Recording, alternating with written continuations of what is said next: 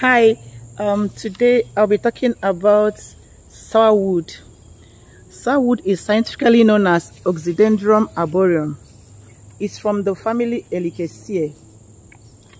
Sourwood is a tree maybe up to 60 feet tall, usually with a very poor form with crooked branches and irregular crown as you can see.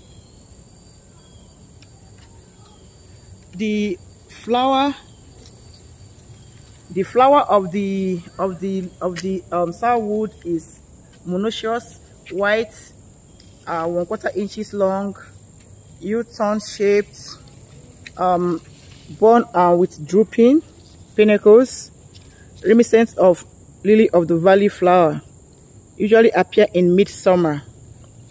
The fruits are dehiscent like uh, about five valved capsule born on a panicle capsule and are dry when matured. In fall, they release very tiny like two winged seeds.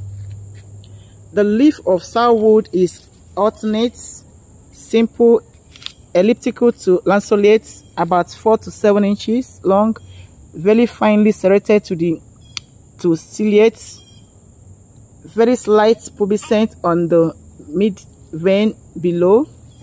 It's usually green above and paler below. It has sour taste when the leaf is chewed. So, like as you can see, it is like the simple leaf with alternate arrangements. As you can see, like it just have like finely like serrated like margin. It's very tiny, you might not really see it. And pubescent like green above and like paler below. Um the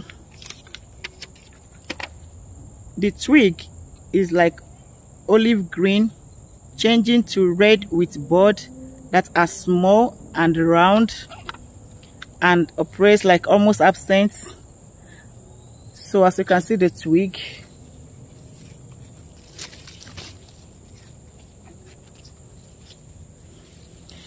um the back of the sourwood tree is um grayish brown very thick with deep furrows and scaly ridges.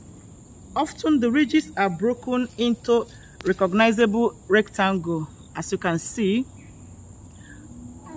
And sourwood can be used um, as a can be used as a landscape tree as it, as it is used to landscape this place. Um, and one distinct thing about sourwood is about the honey that is made from sourwood.